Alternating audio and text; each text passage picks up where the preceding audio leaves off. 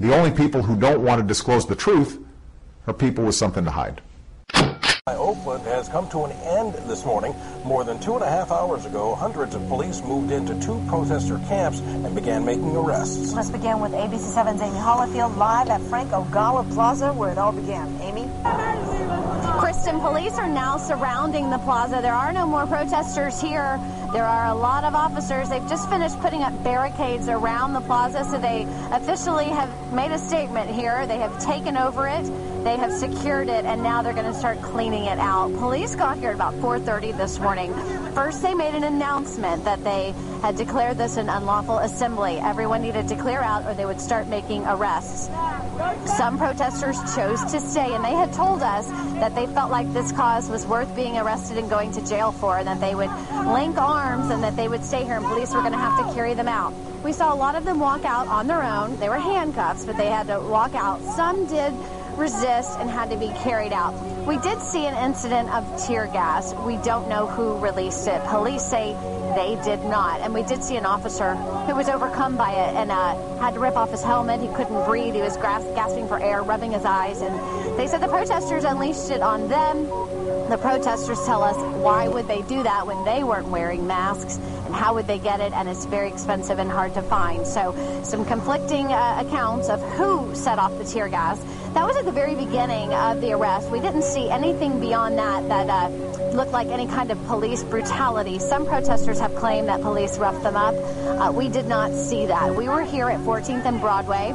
Uh, police have now uh, moved on. The, the, march has moved on to other parts of the city. So the officers who are still here have secured the plaza.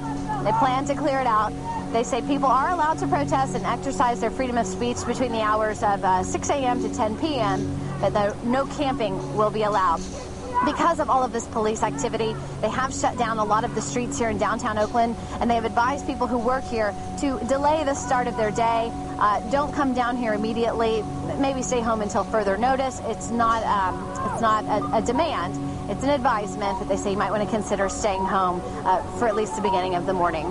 Terry McSweeney is covering this story a few blocks from me. He is at a Snow Park where the protesters uh, moved to at one point, and police also went over there to clear it out. So, Terry, what's the situation over there?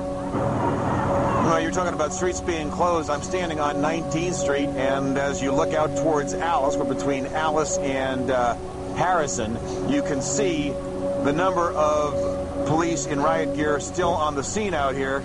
Uh, there are just a few people, uh, protesters, I guess you could call them, on bikes, uh, looking at the police, uh, occasionally having a conversation with them, but there's no confrontation going on there right now that we can see. And as you look down 19th Street, uh, in the other direction towards Harrison, on the far side, on the corner there, you can still see a large police presence there as well uh, overwhelming police presence considering what happened out here at Snow Park earlier tonight. Take a look at some video of the arrests. Now you're going to see a whole lot of uh, activity uh, of people being carried away.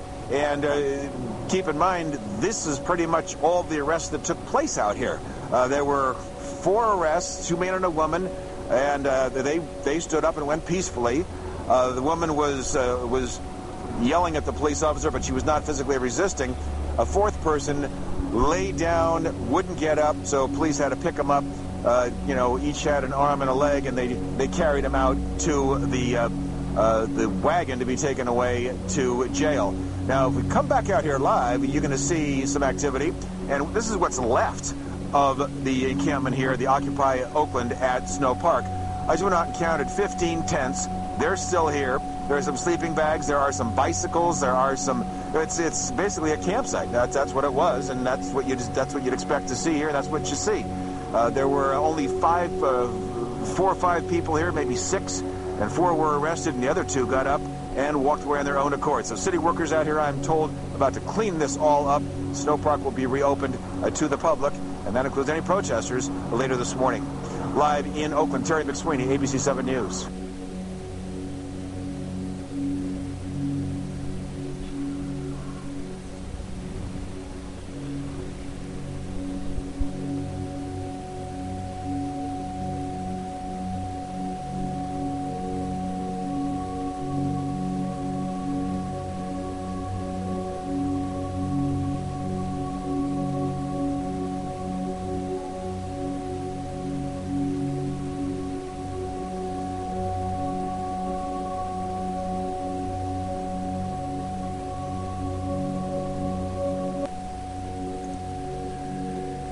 The level. Now, if it's something were to happen, you can But it scared a criticize lot them. people when you make an announcement. Well, we live in a democracy. Do you want information or don't you?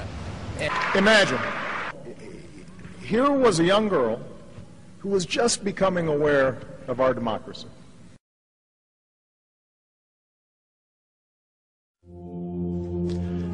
When Benjamin Franklin exited the Constitutional Convention, he was asked by a woman, Sir, what have you given us? His immediate response was, A republic, ma'am, if you can keep it. Yet most Americans today have been persuaded that our nation's governmental system is a democracy and not a republic. little smiley face. And here it is again. Special for you. Special count for you people that don't believe. Or do believe but don't understand. And say, well, it's not important. Well, it is important, folks. Imagine, here was a young girl who was just becoming aware of our democracy.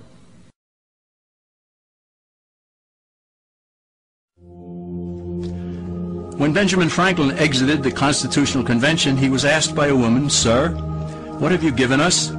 His immediate response was, A republic, ma'am, if you can keep it.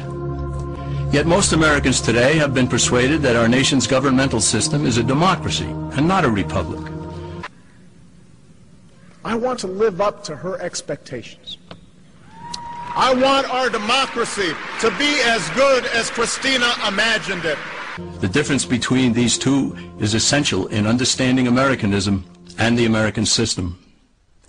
Before we discuss political systems, however, it's helpful to address the confusion that has been spread about the political spectrum.